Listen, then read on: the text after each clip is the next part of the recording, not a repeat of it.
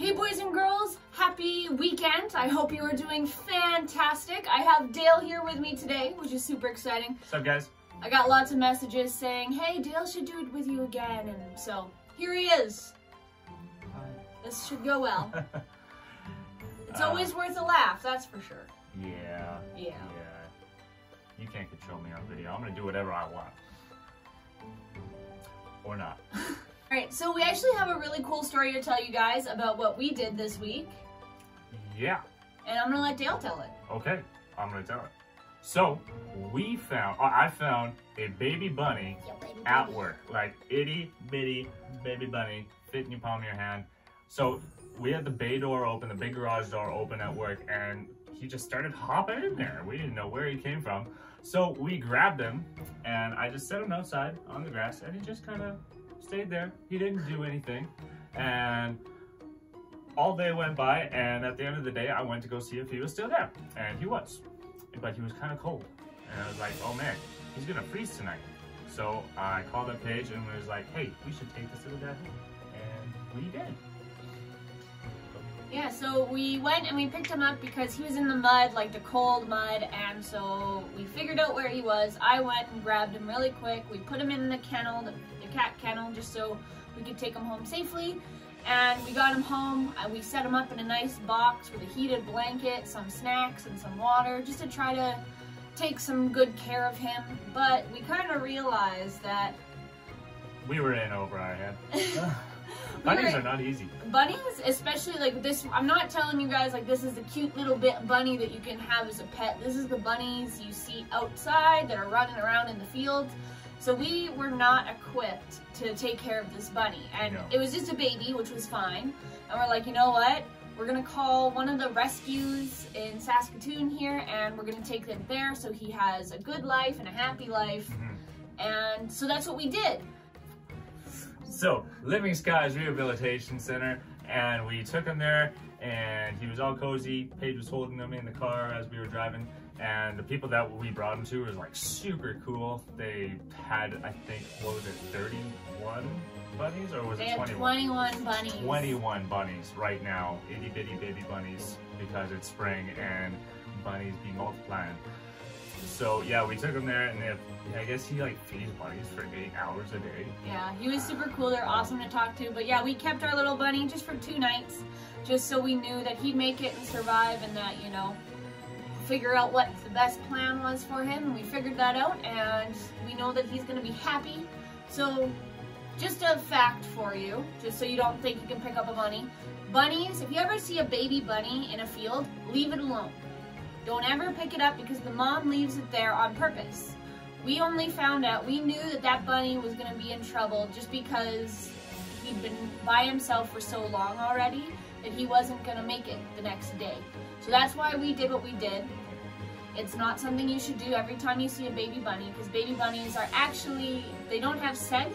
So other animals can't smell them, just their moms, and their moms will come and feed them throughout the day and keep them safe. So don't do what we did. We did because we did.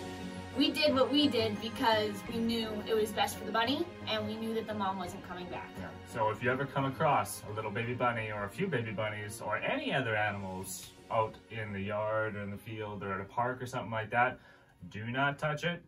Get an adult and find out what to do through there. Exactly. So that was our that was our week to, this week. We had a fun adventure with the little bunny. The cats did not like it very much because I know you guys are curious. But yeah, we did that, and it was super cool. Super cool experience. Mhm. It was a little hard to see him leave, but we knew that we were taking him to the best place we could. Yeah, and we learned a lot too. So if we ever actually have to do this again, then we know what to do. We know the best plan. Yeah. Yeah. Anyway, so we're going to go into a time of worship. So stand up or sit down. Do what you feel like. We're going to go into some worship.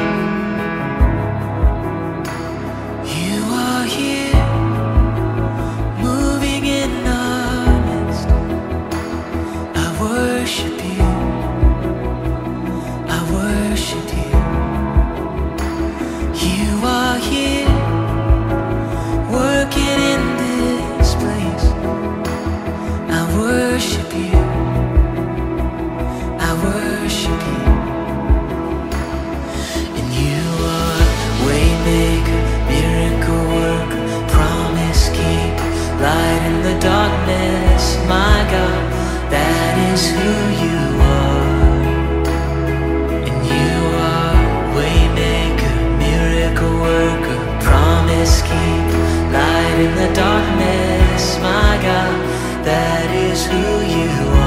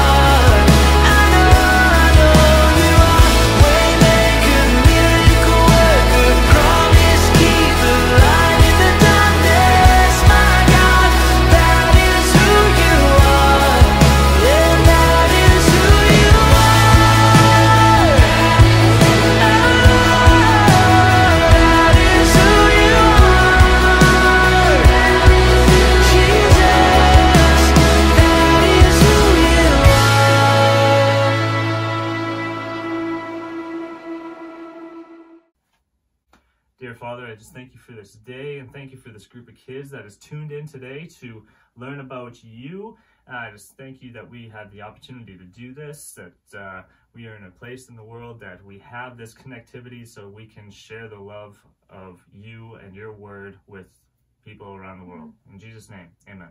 Amen. All right, you guys. So I'm going to ask Dale a few questions. Feel free to answer them at home, or you can email me your answers. My email will pop up down here, or it'll pop up later. It always pops up at some point. So, Dale, Yes. I'm going to ask you some food questions. Okay. What is your favorite meal? Oh yeah, I was supposed to premeditate this answer. Um, you know what? My I'm gonna say two answers. Is that, that cool? Yeah. Okay. So hot dogs, Oh.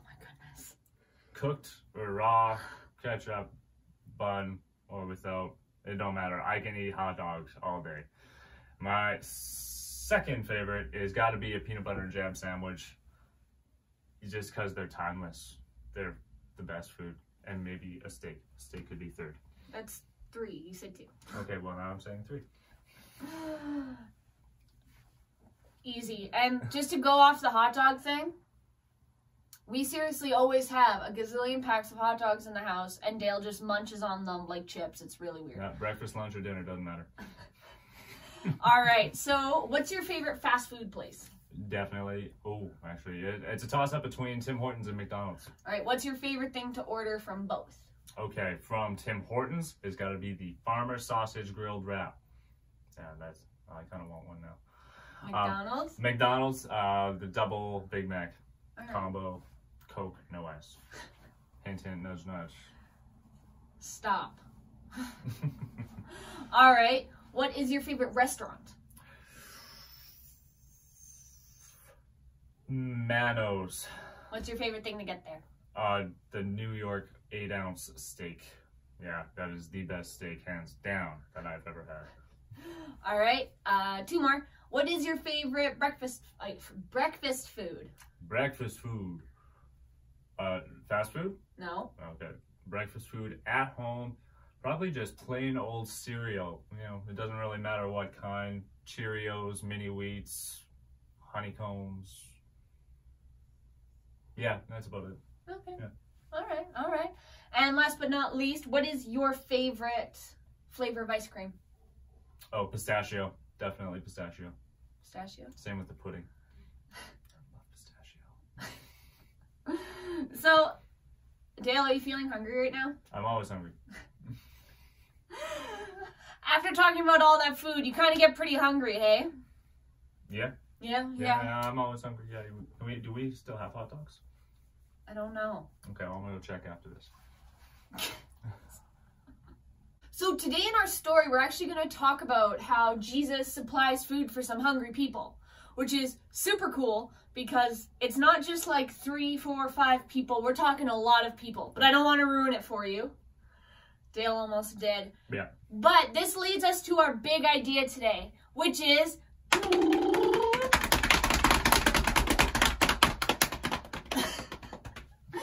Jesus will provide our needs.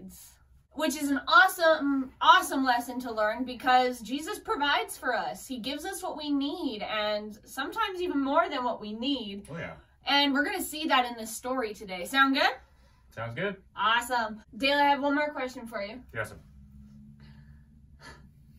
How do you feel when you've gone all day without eating? Mm, I don't know. I don't know when the last time that's ever been, but I know how I felt from breakfast to lunch when I didn't have breakfast this morning. I, I didn't feel great, you know. Tummy was rumbling. Uh, I get a headache sometimes. Yeah, I don't. I don't feel awesome. Yeah, I know. I like my food. I know. Especially. Anyway, you know what? I know for myself, if I don't eat uh, for a certain a lot for a long time, or if I don't eat all day, I get super angry or hangry. I get super grumpy, super grouchy, and I'm super frustrated all the time. Scary. So, what about you? What do you get like when you get when you're hungry? Talk about it with the people around you. How do you act when you get hungry? Ask your mom. Ask your dad. Yeah, ask people how you get when you're hungry. You learn a lot. Because I've asked Mhm. Dale, I'm like, what am I like when I'm hungry? And he's like, you're angry. We're actually going to go into our story now. We're going to get our Bibles, so go get yours. There we go. We've got our Bibles. I hope you got yours. And today we are going to Matthew chapter 14, verses 13 to 21.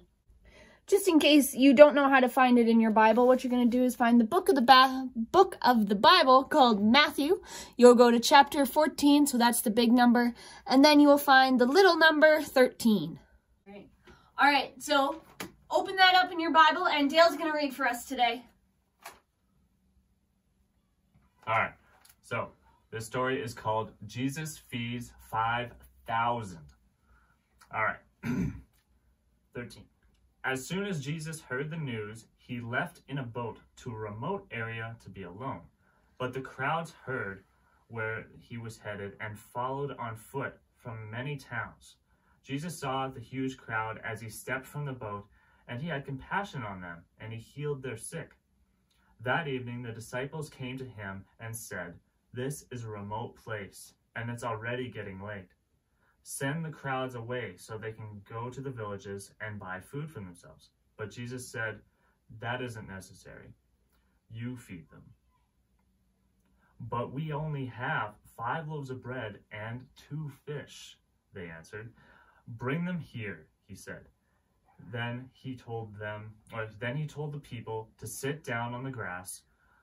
Jesus took the five loaves and two fish. He looked upward toward heaven and blessed them. Then, breaking the loaves into pieces, he gave the bread to the disciples, who distributed them to the people. They all ate as much as they wanted, and afterward the disciples picked up twelve baskets of leftovers. About 5,000 men were fed that day, in addition to all the women and children. That's a crazy story, hey? Like we are seeing that not only not only is Jesus healing people, which he does cuz he's amazing, but he feeds 5,000 people. And from what? What did he feed them from? Five loaves of bread, so think of a five wonder breads, and then two fishes. Two fish. Fish? Fishes. It's Fish. fish. Two fish. And that was enough to feed 5,000 people and have 12 baskets of leftovers. That's pretty intense, eh? oh yeah, well I can fill a basket with like five loaves of bread in itself, but they had twelve baskets of leftovers. Yeah. How'd And, that work? right, like how how could that have happened? I have no idea. Could you have pulled that off? No, I don't have that many tricks up my sleeve. It's it's it's empty. I know I couldn't have done it. So what is that then? What is that called what Jesus did? I know that word. Should I say it? Yes. It's I think it's called a miracle. It is, and we've been talking about this a lot through these series are these unbelievable miracles that Jesus does. And what is a miracle, Dale? Uh, something really only God can do. Like nothing that we could ever produce. Well, not on our own. No. There are times that we can produce miracles th- with God working through us, Very true. but we can't do it without God. And it's something that only God can do. And that's exactly what happens in this story is we see over 5,000 people. Did you guys catch that at the end? It was 5,000 men. And that's not including the women and wives that were there, the children. Like, we could have been looking at 10,000 or more people. And that is so much food Mhm. No. so much food that was miraculously made from five loaves of bread and two fish. And if you eat as much as I do, like, phew, that's got to be a lot of food. Right? And that's the other thing. They they were they ate and were satisfied. It wasn't like they took a little baby nibble. They ate until they were full and happy and content. And for some men and women too, that can be a lot. Like it can be Dale can eat about 3 packages of hot dogs and still be hungry. So Yeah. I don't know if that's a brag or not, but I can. It's amazing to see that God, working through his son, does this amazing mm-hmm. miracle, feeding thousands and thousands of people. And out of something so small. And this also teaches us not only that God will provide for us, but that even the smallest amount can do amazing things. Yeah. Whatever you have to bring, it can do amazing things when we give it to God. So if we give our talents to God, we give ourselves to God, as much as it doesn't seem like a lot, He can do amazing things with that. Yeah, he takes what we have and he multiplies it. He does. Yeah. And it's really awesome to see and it's amazing to talk about because God is super cool. hmm All right, so we're going to do a quick experiment to show you this thing of multiplying, how what we give to God, He multiplies. So, how many corners are on this piece of paper? Four. Awesome. All right. So, Dale, I'm just going to give you, I'm going to share my paper with you. Okay. I like to share. I only get the coin. All right. How many, how many are there now? One, two, three, four, five corners. So, how could that have happened that I, I gave it away, but now there's more corners? All right. Let's do this again. All right. Here, we'll cut a bigger piece off. There you go. Now I have six corners. That's, that's crazy. One, two, three, four, five, six, and now she has six corners. So now I've went from four corners to six corners. Let's let's just see if it keeps going, okay? All right, Dale. How many corners? All right, one, two, three, four, five, six, seven. Seven corners. All right, let's do it again. All right, what about now? One, two, three, four, five, six, seven, eight. And that was from giving away. Like if if the goal is to have the most corners and it involves sharing to do that, that's pretty cool. That was nine corners. And that's exactly how God works is that whenever we're, we willingly give, whenever we willingly offer ourselves, He makes it into something into something better. So He gives us more corners, or He gives us a stronger talent, or He gives us more strength to help out. And it's super cool that God does that. Just by sharing and giving things to God, we are the ones who get more. We get more corners and more places to learn and to love and to share God's love and grace. And it's really cool how God uses us and uses anything for His will, and that He provides our needs. God that day provided all of those people with food when it didn't seem possible. And God does this for us every day. He provides us with food, water, shelter, whatever we need. God always helps to provide. And it may look different for some people, and it may look different for others, but the main thing to know is God will provide for you matter what. hmm He will always be on your side. He will always help you out. Because God provides. He never, never stops. And He will forever love us and be there for us. We just need to be willing to give ourselves to Him and share God with those around us. And like, even if you don't think you deserve it,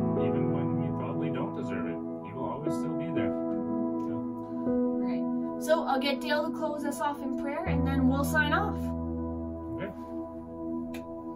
Dear Father, I thank you again for this awesome group of kids that came out today to learn more about you. And I just ask that you bless their weeks going forward, bless our weeks, and yeah, just give us strength for another day tomorrow and continue to guide us in your way. In Jesus' name, amen. Amen.